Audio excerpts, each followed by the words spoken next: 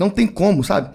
As mãos, a comunicação, o ser humano, se ele não aprender a falar até os 5 anos de idade, ele não vai aprender a falar nunca mais.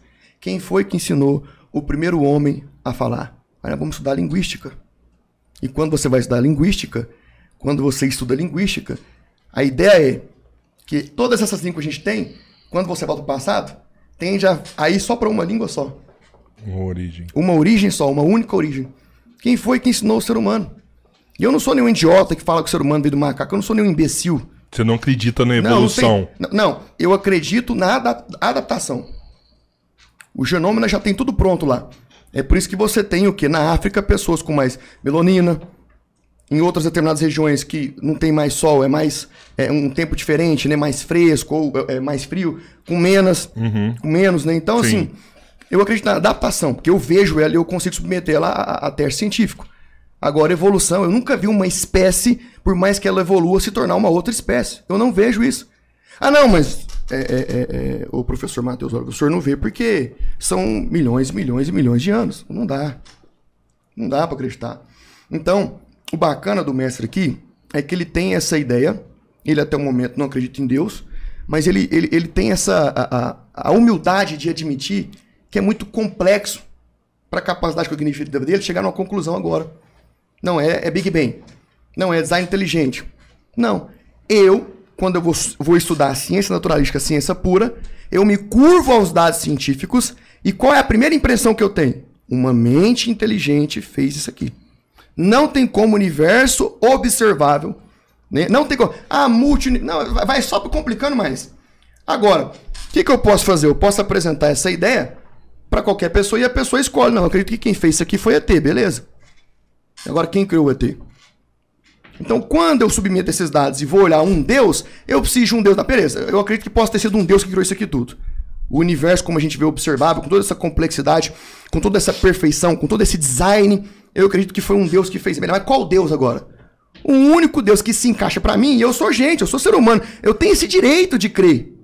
Claro. Não é porque eu sou analfabeto, teológico ou jurídico. Não, é- eu tenho o direito de crer, eu sou gente. Isso é coisa de gente. Eu não acabei de falar que a religião faz parte do ser humano. Qualquer cultura, o ser humano já está enraizado com isso. Então, eu sendo gente, isso sendo de gente, eu tenho o direito de meter os lados e falar, mas qual Deus que, que pode ser? Primeiro, esse Deus tem que ser atemporal para ter criado o tempo. Ele tem que ser intranscendente, ele tem que ser infinito. Ele tem que ser onisciente, ele tem que ser onipresente. Mas eu o único uma- Deus que se encaixa nisso é o Deus dos hebreus. Agora, existem diversas complicações teológicas? Sim. Existem diversas lambanças teológicas? Sim. Aí eu vou concordar com ele. Quem faz isso? A merda do homem, O ser humano. o ser humano. Eu vou te falar, Oliver, você fala aí. E quando o Calvino fala, eu já percebi uma coisa: que quando o Calvino fala, você concorda com ele em diversos pontos. Em vários. É. E me É porque- parece que o Calvino não concorda com você em quase ponto nenhum. Que você tá falando ali, ele não tá concordando, não. Você você- o Robertinho tá querendo. bem. Não. Não, você tá aceitando tudo muito bem. Mas eu não vejo em você expressões de aceitação. Tipo assim, Eu- é isso. não, eu mesmo. concordo até no que ele fala, a crença, porque a crença é a não comprovação. É o que ele falou, eu, porque para ele, como ele é, vê a possibilidade, como ele até mesmo fez, às vezes o ser humano fez um, um pendrive e tudo, mas eu tô vendo o ser humano. Ele tá aqui, tá existindo. Tudo bem, é um comparativo interessante, mas quando eu falo, chega um ponto que assim, eu não consigo provar. Então eu vou para onde? Para crença. É. Então é, é o direito dele. cre- é- Se você só quiser acreditar em gnomo, é direito, viva bem. Não importa a crença que você tenha. Agora, o que eu não consigo aceitar, né? E, e, assim, eu faço questão ainda de, de tentar assim. Me desculpe mais uma vez. Ateísmo não existe. Não é possível existir ateísmo, porque não existe corrente que diga para ser ateu tem que fazer isso, isso, isso e isso. Não. Para você ser do judaísmo tem que ser isso, isso, isso. Para ser catolicismo tem isso, isso, isso. Isso não existe ateísmo. Por mais que você vai ver as pessoas falando ateísmo, ateísmo, ateísmo, né? eu tô falando porque acho que sem- às vezes na, euforia você falou ateísmo aqui duas vezes, né? A ideia, de E- ate- de- é. a ideia de ateu. É porque o ateu ele conhecido, não né? tem isso assim, olha, para ser ateu você tem que fazer isso, você tem que pensar assim. Não, É. ateu simplesmente é aquela Não pessoa acredita em Deus. não é não acredita. É Da mesma forma que ele tem convicção que Deus existe, o ateu é que ele tem convicção que Deus não existe. Agora, Só. Agora, é, E vou viver bem. Vou viver bem com todos, indiferente. Porque aí é o que, que, o Oliver falou no final. Né? Para mim, é, desculpe a sinceridade, uma das piores criações humanas que existe, em função da falta de condição. é, eu, eu não sei nem se faço de valores ou de moral de grande parte da humanidade, foi a religião. Porque ela, através da religião você manipula as pessoas na fé desesperadas, que estão buscando bem. As pessoas que estão indo na igreja estão acreditando e buscando bem, e dali no desespero, elas entregam a vida para um mau pastor. Como bem falou o Oliver aqui, tá vendo como eu concordo? Como padre, um mau padre, e aí vai. Mas, mas Sei que é um religião instrumento. É? Não, como instrumento.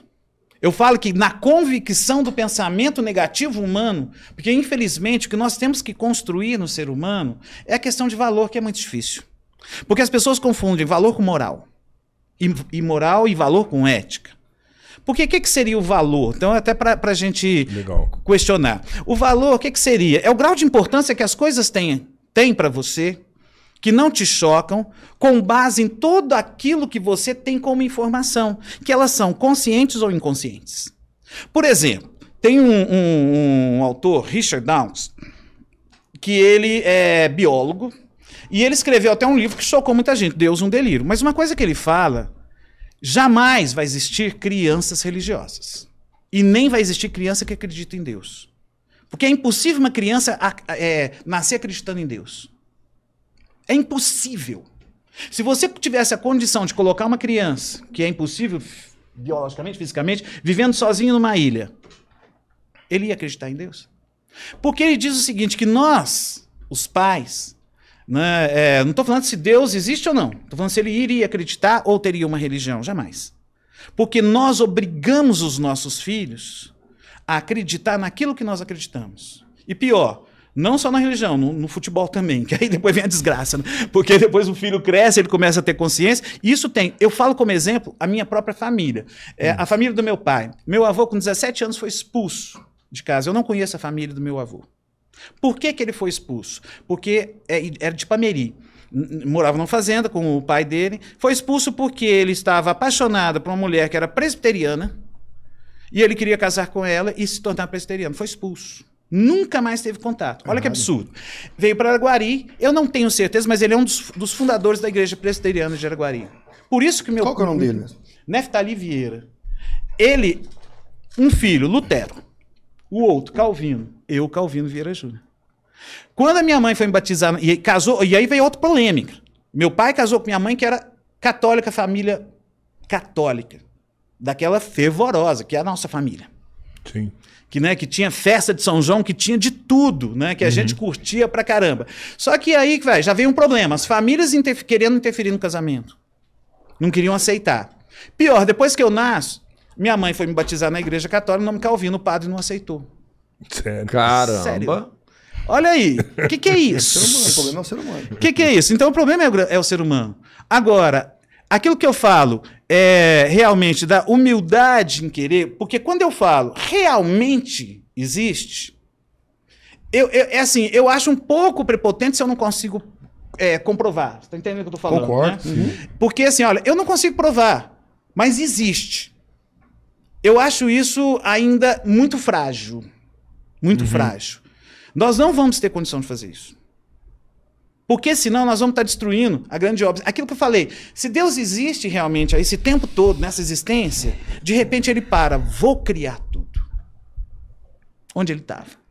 Ele criou o próprio espaço onde ele está. Tá vendo as perguntas humanas que a gente faz? Que nos põem para. Pelo amor de Deus. Então ele sempre existiu, ou ele é, mas ele criou tudo. Inclusive onde ele está. E ele pode tudo. Onipotente, omnipotente. Ele poderia fazer até um Deus muito mais poderoso que ele. Por que, que Se não ele faz? quiser, sim. Por que, que não faz? Eu não sei, porque eu não sei a mente disso. ele poderia fazer um Deus que superasse até ele próprio, mas não faz. Eu poderia analisar isso com uma visão humana, narcisista, egoísta. Por que, que ele não criou outros como ele para conviver com ele? De repente ele para num tempo de existência que eu não sei qual é, cria e fica aqui brincando de criador simplesmente para ser o que talvez é, é, não sei se é admirado cai na visão humana de narcisista de novo. Por que, que Caramba, preciso? Deus é narcisista?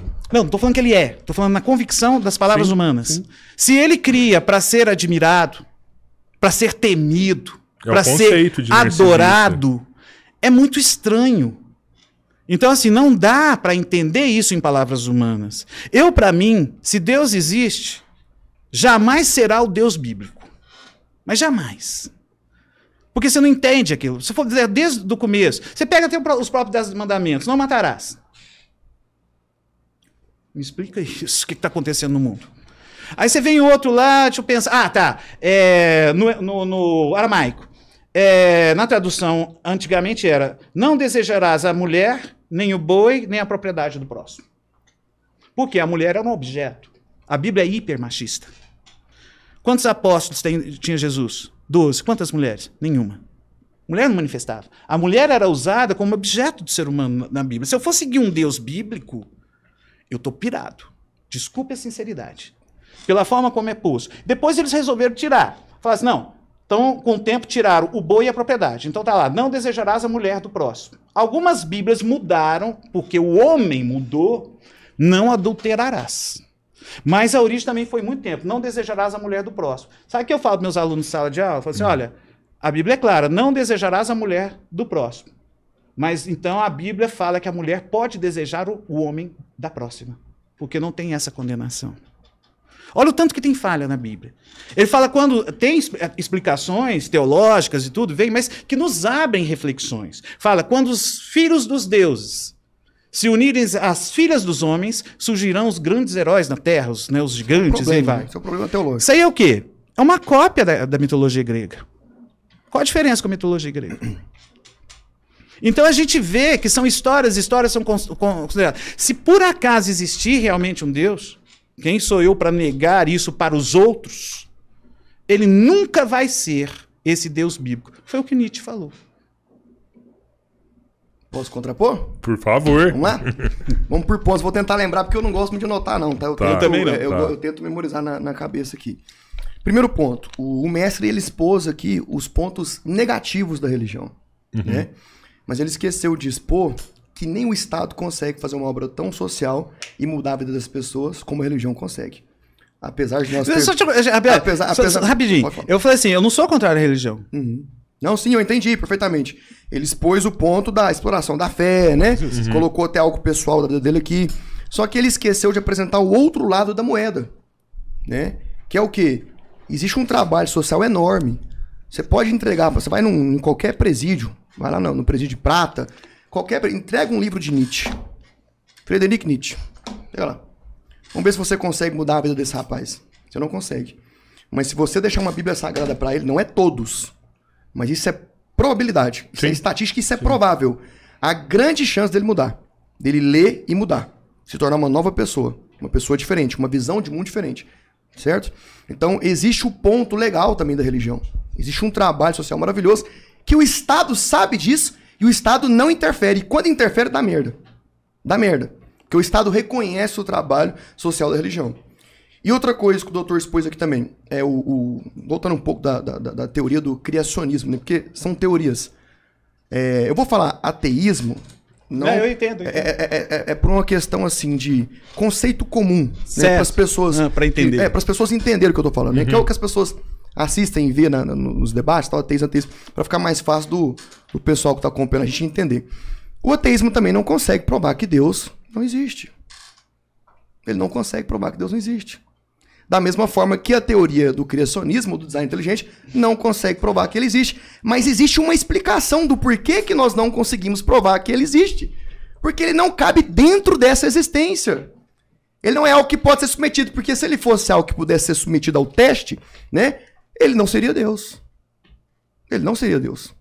Para ser Deus, ele tem que ser atemporal, universal, ele tem que estar acima desse plano. Entendeu? E eu me reservo a minha insignificância. E quando eu vou me submeter aos dados científicos naturalísticos, eu não estou falando de pseudociência, eu vou trazer para o meu, pro meu cara aluno duas opções e não somente uma. Ó, existe essa linha, certo? Essa aqui é a, a linha darwiniana. Existe essa linha aqui. Qual é a que faz mais sentido para você? Ah, essa aqui, o universo foi criado por uma mente inteligente, or- orquestrado por uma mente inteligente. Beleza, agora qual é a mente? Aí eu vou jogar isso pra filosofia e pra teologia. Aí cada um, eu acho que foi os extraterrestres, beleza. Eu acho que foi, é, é, é, é, é, sei lá, o, o- Zeus, beleza. Eu acho que foi o Deus da guerra, né? Pra quem gosta de videogame aí, beleza. Não faz sentido, eu não consigo ver nenhum outro Deus. e Eu estudei diversos deuses, diversas mitologias. Eu não consigo ver nenhum Deus que faça mais sentido, que tenha essa, esse poder, essa capacidade, que faz a- a- você entender melhor, que se encaixa mais de um Deus atemporal, intranscendente, infinito, eterno, onisciente, onipresente, que caiba dentro dessa ideia pra mim. Outra coisa que o, que o mestre aqui falou, sobre a possibilidade de Deus ser machista. Quero deixar uma coisa bem clara aqui, tá? Falei Deus machista, não. Não, não, não, não. É, é, eu quero, eu quero, A Bíblia machista. eu quero deixar uma um, um, um, um- abrir um parênteses aqui, né? Eu não me ofendo porque eu estudei. Eu não sou fanático. Quando você estuda, você entende o que, que o colega tá falando.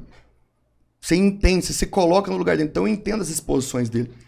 Aí vai ter gente me batendo no chat aqui. Professor, você não tá defendendo Deus. Defendendo o quê? Mas eu tô debatendo ideias. Eu tenho que entender o que ele tá falando. É uma visão que ele tem. Ah, mas ele vai pro inferno. Não, aí, aí- aí isso é a sua visão. Entendeu? Isso é a sua Mas visão. ele vai ou não vai? Não, isso, eu, não, eu não tenho esse poder. É aí que tá, o- é aí que Ó, tá o o- Robertinho querendo não, mas, é, mas é aí que tá o problema. Sabe, sabe qual que é o problema? Eu acredito que muito ateu, ateu genuíno mesmo, que tem suas dificuldades teológicas, que tem suas dificuldades biológicas, que tem suas dificuldades de capacidade cognitiva de entender mesmo como é que isso aqui tudo foi feito, e que no fundo, no fundo, ele realmente não acredita, mas é uma pessoa boa, uma pessoa de caráter, uma pessoa ética, uma pessoa moral, uma pessoa que cumpre mais aquilo que Jesus falou do que muitos cristãos. Eu, eu, eu acredito sim que essa pessoa possa ser salva. Isso é minha crença com base na teologia. Entendeu? Eu acredito. Eu não sou um cara fanático que né, só vai pro céu se for cristão, só vai pro céu se for evangélico. Não. não é isso. Então, ele esqueceu de falar, pra mim não perder esse time, Sobre a né? Bíblia. Só pra não Aham. perder esse time, que existe uma evolução cultural. Existe uma evolução cultural. A Bíblia foi feita por homens, mas inspirada por Deus. Cada homem escreveu com base na sua visão cultural da época. Ele esqueceu de falar que depois de 430 anos, quando Deus ficou sem falar com o povo, ali através do seu último profeta Malaquias, onde ele promete no capítulo 4 que haveria de trazer de novo o, o Elias, né, que foi arrebatado lá em 2 Reis, né, para converter o coração dos pais aos filhos, os filhos aos pais, antes que viesse o grande teve o dia do Senhor. Ele esqueceu de falar que quando Deus ficou, para quem é da teologia, né, é, quando Deus ficou 430 anos sem falar com o povo Israel e apareceu um doido chamado João Batista, a voz que clamava no deserto, anunciando o reino de Deus, esse Jesus, sabendo das regras judaicas, ele falou com mulher. E a mulher samaritana, sabendo isso, falou assim: Como sendo tu judeu, fala comigo, sou samaritana. Então ele esquece que existe uma visão cultural, uma visão de evolução das pessoas e do tempo e da época. Entende? Tanto é que Pedro era extremamente o quê? Cultural, regrista, legalista. E lá em Atos ele tem uma visão, o senhor lembra disso? Foi descer um lençol para ele com os animais. Mata e come, Pedro. Mas de jeito nenhum, de, de modo nenhum eu vou comer coisa imunda. Mata, por quê? Era imunda pro Velho Testamento.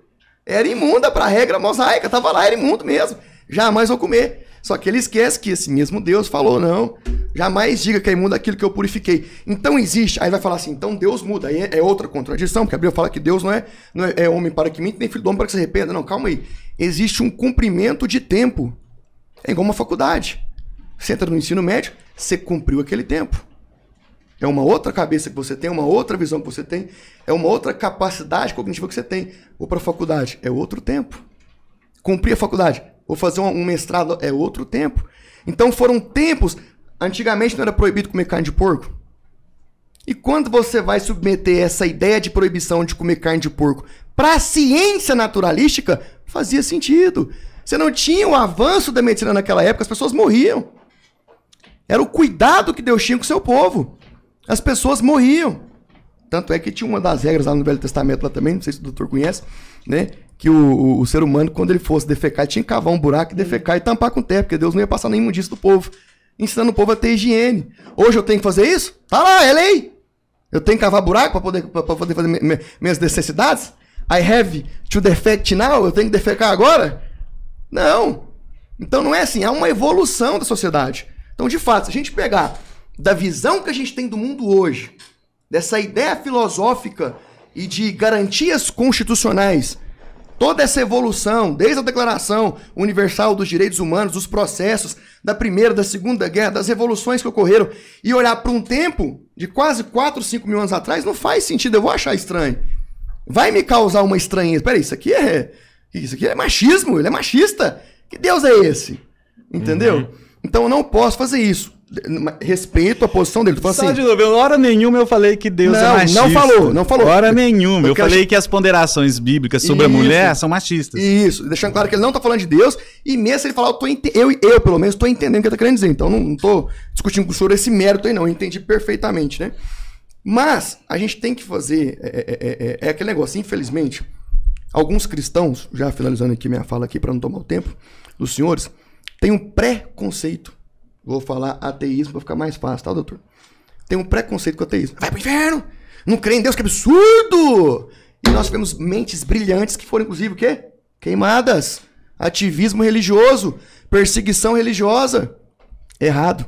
Mas também, da mesma sorte, nós temos do outro lado pessoas que, ah, é cristão, é crente, já não presta. Já é acéfalo, já não, não tem cérebro. Então, assim, não é. Você tem pessoas em mentes brilhantes que creem no design inteligente e você tem pessoas em mentes brilhantes que não creem no design inteligente, que são agnósticos, que são ateus, ou que até mesmo não sabem de onde isso aqui surgiu. Não tem uma linha filosófica ou teológica. Entende? Então, o problema, eu sempre bater nessa tecla, o problema é o ser humano. O problema não é a polícia de Minas Gerais, é quem está atrás da farda. O problema não é o, a- a- o poder legislativo municipal, estadual ou federal. O problema é quem está lá ocupando o cargo de deputado federal, de senador federal, de deputado estadual, de vereador. Esse é o problema, quem está lá por trás. Quem está atrás. Esse é o ser humano que é o problema. Então a minha crítica sempre vai ser ao ser humano, em agir de má fé. E eu sempre vou olhar os dois lados da moeda. Eu conheço mentes brilhantes que são ateus e conheço mentes brilhantes que são criacionistas. Simples assim.